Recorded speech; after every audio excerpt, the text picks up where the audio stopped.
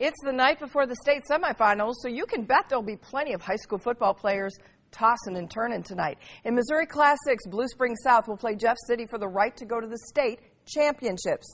The Jaguars are proof, though, it's not how you start, but how you finish.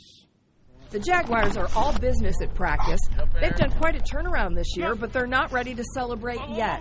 After losing two out of their first three games, they're now one win away from the state championship.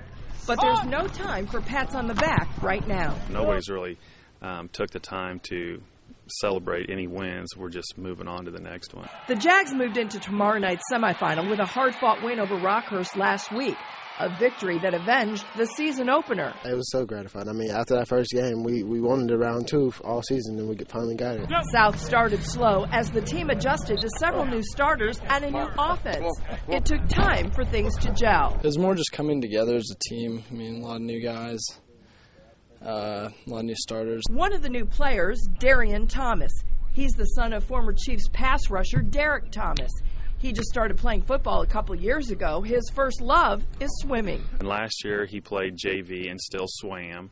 Um, but he was trying to make the Olympic trial cut for swimming, and he didn't do that. And he told me if he didn't, he was just going to concentrate totally on football. People always ask me why why I didn't play football, but I was just always kind of like, you know, I want to be my own person and do my own thing. Ironically, Darian wore his father's shoulder pads in his big breakout game last week. You gonna wear those pads again?